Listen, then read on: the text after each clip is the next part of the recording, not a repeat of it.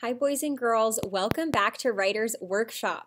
So, your teachers and I have had so much fun reading your work, and we discovered something. One of our friends was working on her teaching chapter book about dogs, and as she was writing her chapter title, she titled it How to Walk a Dog. And as she wrote that, she stopped and thought, Whoa, this chapter is titled How To. That means that this chapter will have a how to page, just like the how to books that we wrote last year. So, let me read you some example chapter titles from other students, and I want you to give me a thumbs up or thumbs down if you think it could or could not be a how to page for that chapter. So, let's read those titles Butterfly Colors that be a how-to page for that chapter? Butterfly colors. Probably not. Maybe it would be making a list of the butterfly colors, but not a how-to page. Making a pizza. Hmm, would that require a how-to page? Making a pizza. Yes, that could be how-to, the steps of how to make a pizza. All right, what about shark pups? Hmm, probably not a how-to page. Drawing an emoji. Yeah, there could be how to for that steps to drawing an emoji. All right. So, friends, my point isn't really that you have to have a how to page in your book, although you do, or maybe you could. What I want to teach you is so much bigger than that. Writers, today I want to teach you that whenever a writer goes to write something new, even if it's just one chapter, the writer is going to pause and think what kind of writing am I doing? And then the writer makes sure that his or her writing follows those rules of that kind of writing.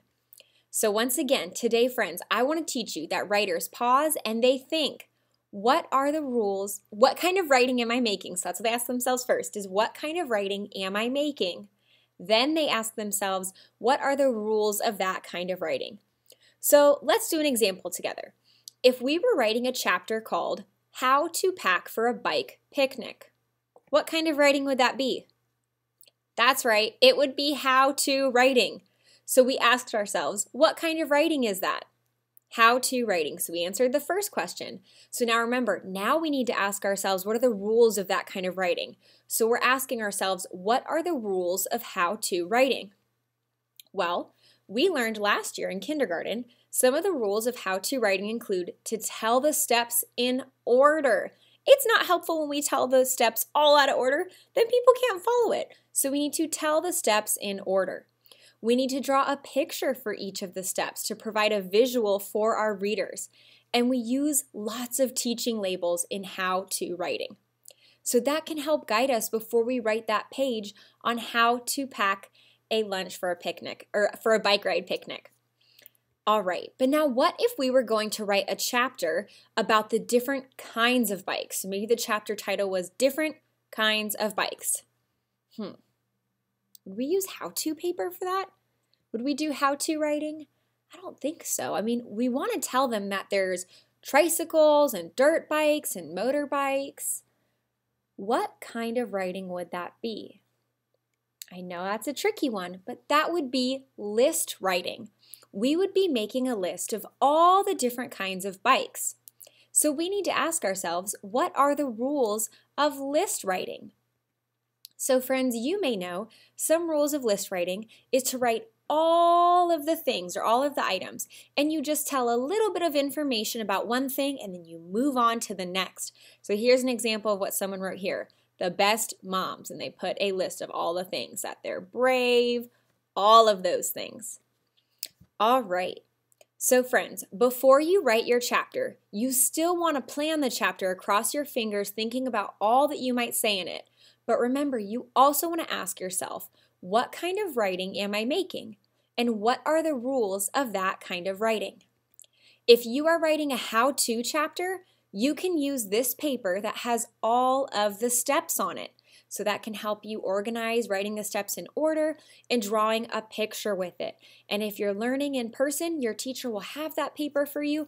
And if you're online, they'll have that paper for you as well. Now, like I mentioned before, your story does not have to have how to writing in it.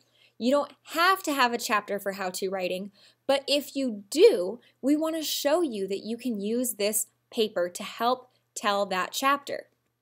Now, if you have a chapter that is a list, if you have a list chapter, you can use this list writing paper. Once again, just like the how to paper, we're not saying you have to have list writing as a chapter, but if it fits with your how to chapter book, you can use that paper to help organize your thoughts. And friends, if you're writing some other kind of writing, you may find your own way to organize your paper to show your ideas in a way that makes sense.